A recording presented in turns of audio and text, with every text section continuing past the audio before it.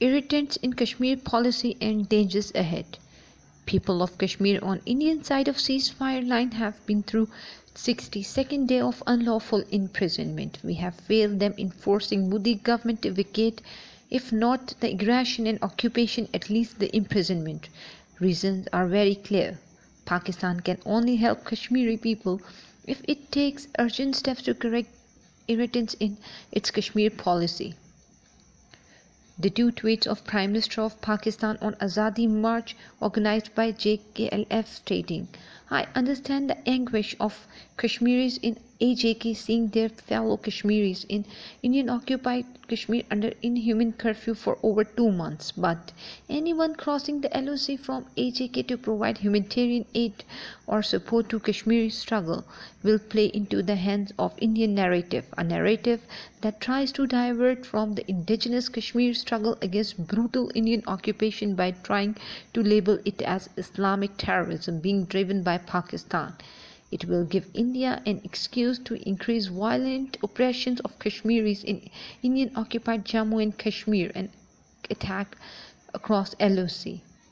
And my two replies Prime Minister, if we follow UN resolutions, it is a ceasefire line and para 12 of United Nations resolutions 47 guarantees lawful entry and exit to Kashmiris across ceasefire line.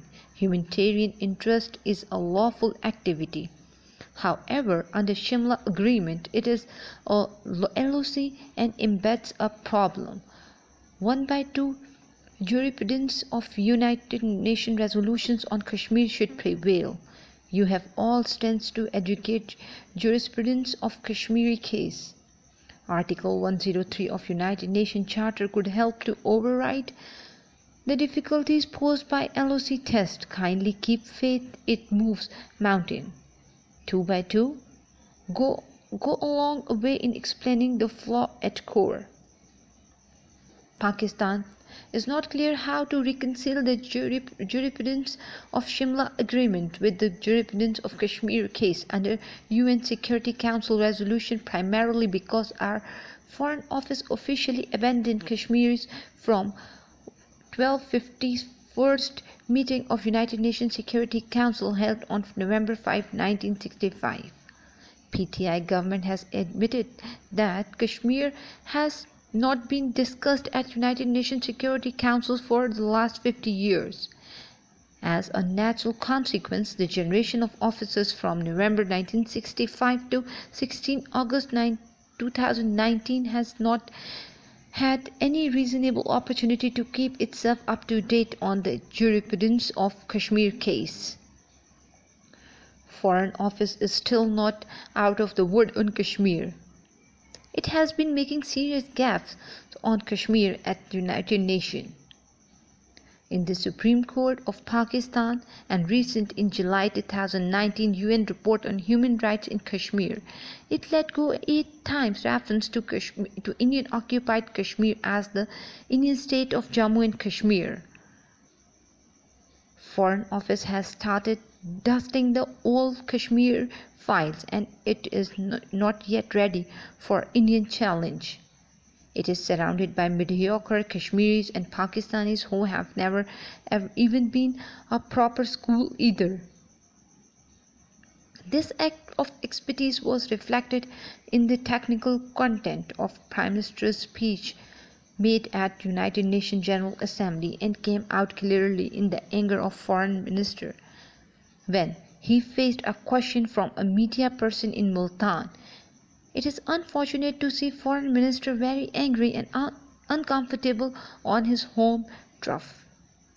In this age of information, it is very difficult to duck a question and hope to wiggle out uh, of a printed incorrect claim. It goes on. There are some intriguing similarities between surroundings made by leaders in India and leaders in Pakistan on future of Kashmir. It was 1995 that Indian Prime Minister Narasimhan Rao said that so far as autonomy for the state of Jammu and Kashmir's work was concerned, only the sky was the limit, implying, of course, that Azadi was out of question.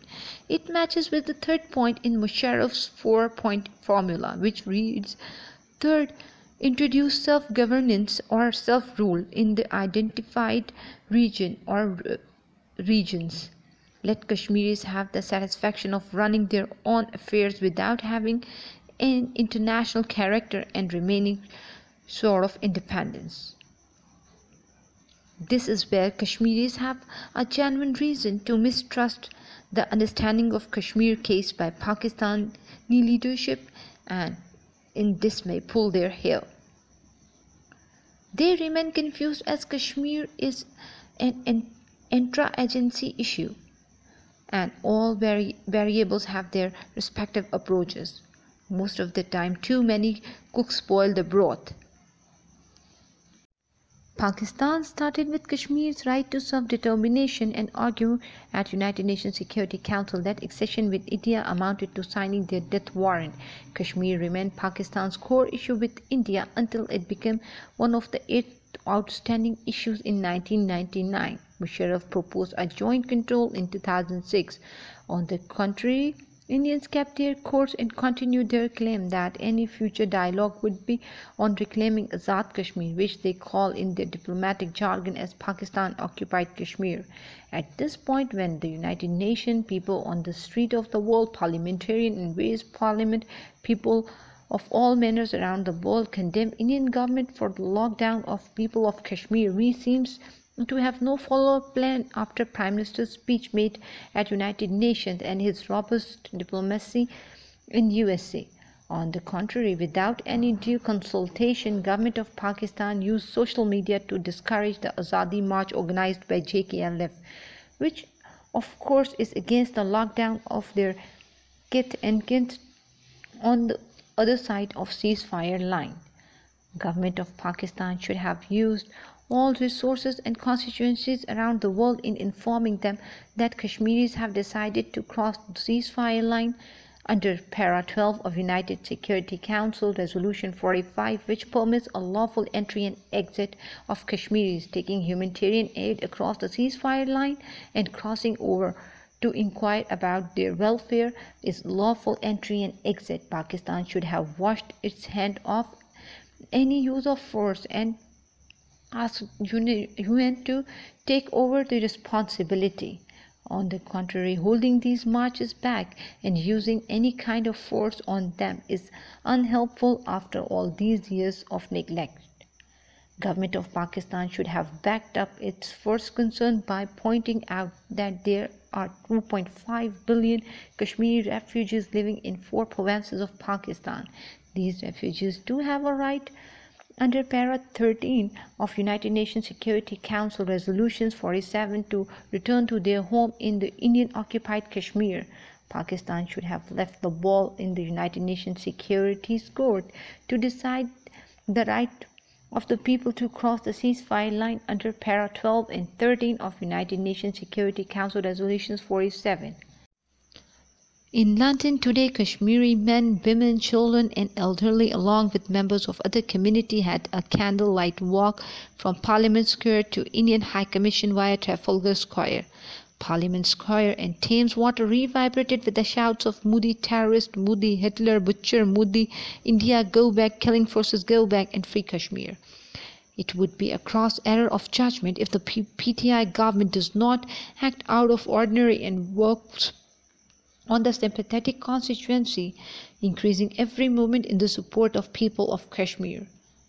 The caveat, however, is that present stock and mindset in the Foreign Office and their beloved constituency of mediocres in Kashmiris hired for optic would have to be pushed. It would be a tragedy if the credible variables in the diaspora decide to disown the government of Azad Kashmir and declares that they don't trust the understanding of the case by Foreign Office of Pakistan. PTI government has raised the benchmark in the quality of representation of Kashmir case. Let it correct the irritants and keep soaring to the new heights.